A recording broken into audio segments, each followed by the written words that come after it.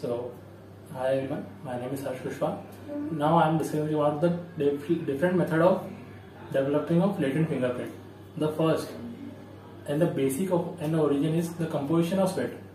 So it consists of 99 to 19.5 percent water and 0.5 to 1 percent of solid waste. And solid waste are of two types, organic and inorganic. Inorganic के अंदर आपके oil आ गया fat आ गया etcetera organic के अंदर आपको blood saliva sebum और बहुत सारे अलग केमिकल बहुत सारे अलग केमिकल्स होंगे एंड इसके बाद type of fingerprint type of fingerprint basically तीन टाइप के होते हैं latent patent and plastic latent fingerprint क्या होता है? लेटेंट फिंगरप्रिंट वो फिंगरप्रिंट होता है जब आप किसी भी ऑब्जेक्ट को टच कर रहे हैं। तो आपका जो प्रिंट उस पर जा रहा है ट्रांसफ़र हो रहा है, जो विजिबल नहीं है, जो पार्शियली विजिबल है, वो होता है latent fingerprint then patent patent is fully visible to the naked eyes like if आपकी उंगलियों पे ब्लड लगा या पेंट लगा आप उससे किसी भी ऑब्जेक्ट टच कर रहे हैं। तो जो ब्लड और पेंट ट्रांसफ़र हो रहा है ऑब्जेक्ट पे in the form of fingerprint that is known as patent fingerprint and then third is plastic अगर आप किसी क्ले और सॉफ्ट ऑब्जेक्ट पे प्रेशर अप्लाई कर रहे हैं from your fingerprint from a finger tips sorry then the print of your fingers get transfer to that surface उसको develop करने के लिए आप मोल्डिंग मेथड यूज़ कर डिफरेंट केमिकल मेथड्स इसके अंदर पहला है निन हैंडलिंग निन हैंडलिंग के लिए आपको किसी भी रिटर्न फिंगरप्रिंट को, रिटर्न फिंगरप्रिंट के सैंपल को लेना पड़ेगा। उसके ऊपर आपको निन हैंडलिंग को स्प्रे करना पड़ेगा, या उसे उसे स्प्रे करेंगे। तो एक पर्पल और ब्लू कलर का फॉर्म फिंगरप्रिंट फॉर्म होगा। इसीलिए आप इस स्लाइड में देख सकते हैं। जो कि क्यों होता है?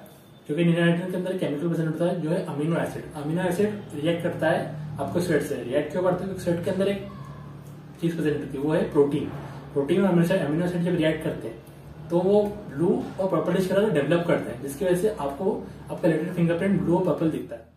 आयोडीन फिंगिंग सबसे पहली बात, सबसे पुराना फिंगरप्रिंट डेवलपमेंट मेथड है, जिसके अंदर हम क्रिस्टल आयोडीन लेते हैं, उसे रिप्रेस करते हैं। रिप्रेस क्यों करते हैं? उसके वेपर की वजह से वो वेपर्स को हम एक चेम्बर में कैद करेंगे इन फॉर्म ऑफ़ गैस उसके अंदर हम अपना सैंपल डालेंगे। जब अपना सैंपल डालेंगे तो due because of fatty acids and sweat present in that, at that sample, it react and develop the fingerprint in the form of visible fingerprint. Then the third is gentin violet. Gentin violet एक another chemical है जो कि as a secondary developing method use होता है जैसे कि आप मान लीजिए आपने टेप पे किसी फिंगरप्रिंट को लिया जो पार्शियल विजिबल था वो लेटेंट फिंगरप्रिंट था उसे आप उसके लिए उसको डेवलप करने के लिए आपको जेंटियन को स्प्रे करना पड़ेगा on that adhesive side of tape so that it can develop automatically. And visible to the last is amino black as you can see on that affecting fingerprint, the first is age. जैसे जैसे आपकी as बढ़ेगी, आपके fingerprint पर wrinkles आने लग जाएँगे। जो रिंकल की वजह से आपका फिंगरप्रिंट डिस्टॉर्ट होने लग जाएगा और थोड़ा खराब आएगा as compare to before twenty या thirty years and the second is fine reach fine reach का मतलब है अगर आपके फिंगरप्रिंट पर या आपके फिंगर्स पर कुछ कट है क्योंकि वो डीप है, जिसकी वजह से आपकी जो रिच पैटर्न है, वो डिस्ट्रॉय हो जाते हैं। And the third is weather. Weather consists of two things. First is temperature.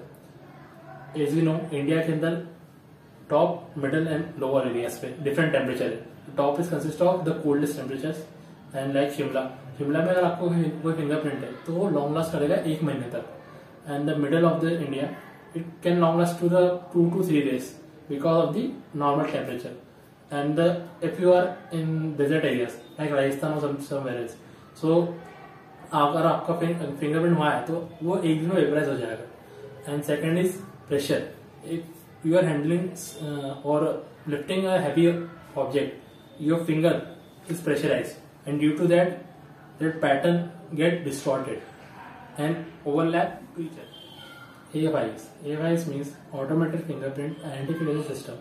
It basically have four duties. First is enrollment. Enrolling the fingerprint. The second is verification, verifying the fingerprint of that person. The third is analysis, analyzing the fingerprint for of that person, and if there is any updation. And the fourth is update, updating, updation of fingerprint. If there is any change of fingerprint due to any accident or due to any changes, that it want to update, the fingerprint.